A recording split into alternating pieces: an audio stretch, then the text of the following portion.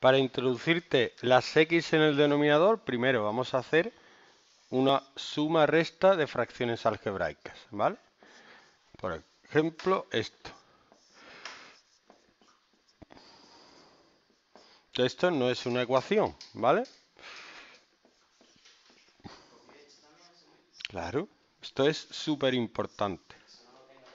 Si tú tuvieras que hacer, sí, pero nunca está mal repasar.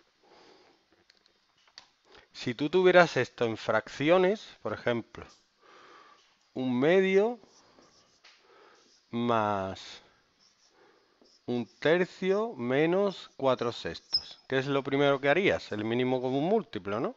De los denominadores, que es 6. Y lo pondrías así para operar. Pues aquí tenemos que hacer lo mismo. Primero tenemos que hacer el mínimo común múltiplo de x, 2x cuadrado y x cuadrado.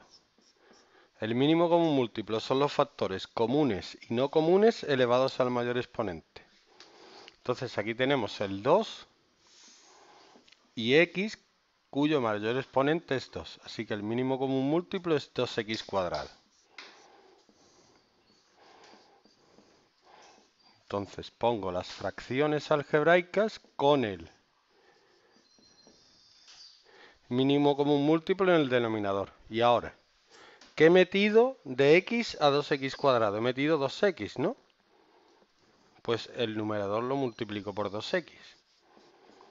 Aquí he metido, no he metido nada. Pues lo dejo igual. Y aquí he metido un 2, 2 por 4, 8. Y ahora que tienen el mismo denominador, puedo operar los numeradores. Me quedaría 2x menos 3 más 8, 2x más 5. Pues ahora vamos a hacer una ecuación algebraica, es decir, que tiene x en el denominador, usando este mismo principio. Lo bueno que tienen las ecuaciones es que al quedarte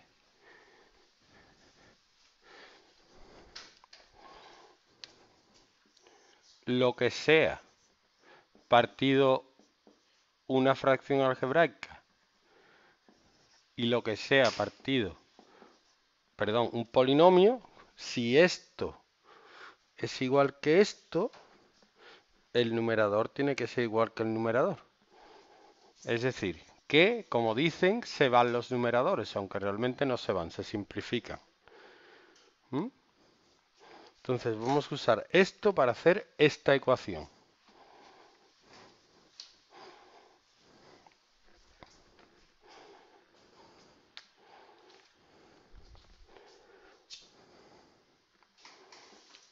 3x más 3 partido x más 1 menos 3 menos x partido x menos 1 igual a 4x menos 2 partido x cuadrado menos 1. ¿Cuál es el mínimo común múltiplo de x más 1, x, más 1, x menos 1, x cuadrado menos 1? Pues primero tendría que factorizar los denominadores. Este ya está. Y este es un producto notable, reconocible, porque es x más 1 por x menos 1. Ahora, ¿cuál es el mínimo común múltiplo de x más 1, x menos 1 y x más 1 por x menos 1?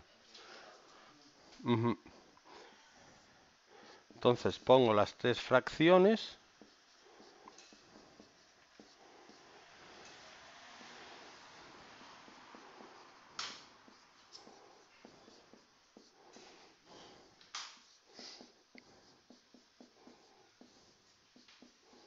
más 1 por x menos 1 y aquí pongo lo que me falta. ¿Qué me falta? Me falta aquí, por ejemplo, meter un x menos 1 para que tengan el mismo denominador. Y aquí me falta meter un x más 1. Y ahora, como todos tienen el mismo denominador,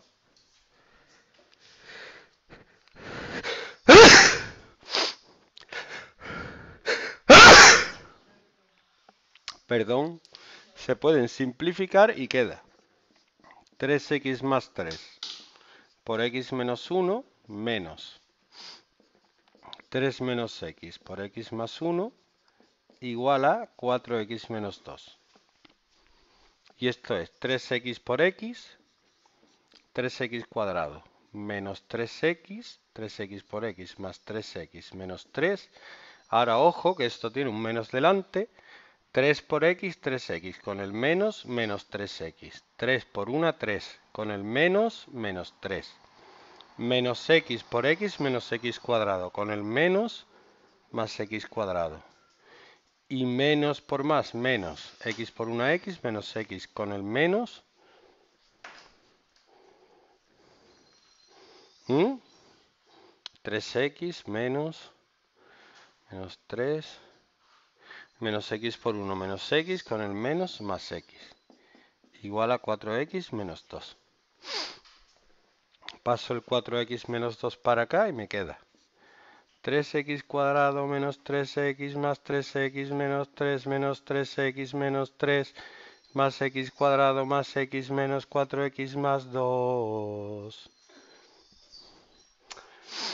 Ahora, 3x cuadrado más x cuadrado, 4x cuadrado menos 3x más 3x 0 menos 3x menos 2x menos 6x.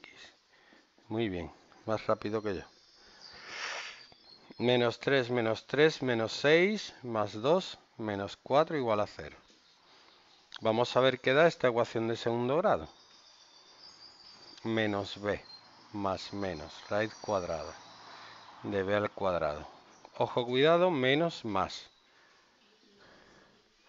4, 64 partido 8. 6 más menos 10 partido 8 es 16 partido 8 es 2. Y 6 menos 10 menos 4 partido 8 menos un medio. Finito.